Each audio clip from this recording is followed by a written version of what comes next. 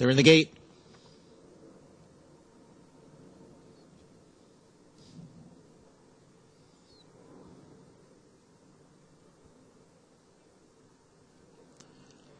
And they're off. A good start for Head Shrinker from the extreme outside. Champagne Therapy away well. And Marakovitz up the backstretch. Champagne Therapy has the lead with Head Shrinker right there in second. And Marakovitz next in third. Two and a half lengths. Love You Babe down on the inside is fourth. And Fly Ash is next in fifth. And it's Grace's Joy in sixth. And six lengths back to the two trailers.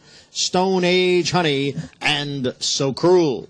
The first quarter was running 23 and 1. Champagne Therapy with the narrow lead over the odds on favorite Head Shrinker as they go around the far turn. Champagne Therapy by a neck. Head Shrinker is second. Then a break of three to Marakovitz in third. Two and a half more to Love You Babe next in fourth. Head Shrinker now right alongside of Champagne Therapy. And it is Head Shrinker now to take the lead from Champagne Therapy. The half and 46 and four. Head Shrinker on top as they head for home.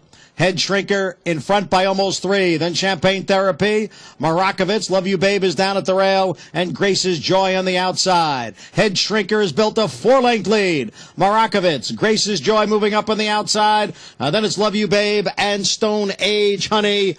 But the three to five favorite, Head Shrinker, has got it wrapped up. Grace's Joy comes up on the outside to get second over Marakovitz. Love You Babe was fourth.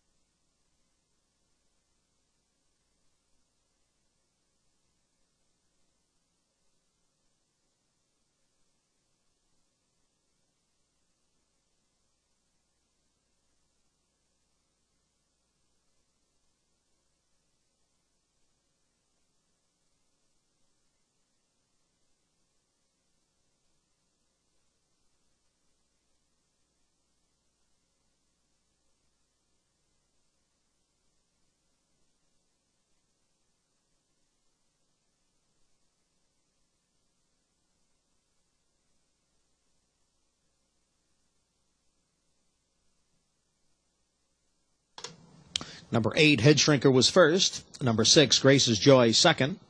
Number three, Marakovitz was third. And number two, Love You Babe fourth. Results unofficial 8 6, 3 2, and the time was 1 minute 20 seconds.